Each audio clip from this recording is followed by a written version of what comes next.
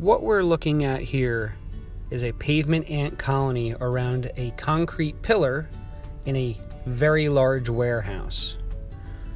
One of the employees found this while they were working. As you can see, this is a very large warehouse with many pillars.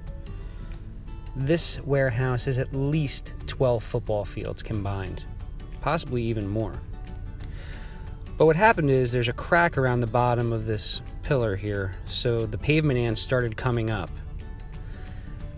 The weather has been really bad lately in this area, and there's been a lot of rain.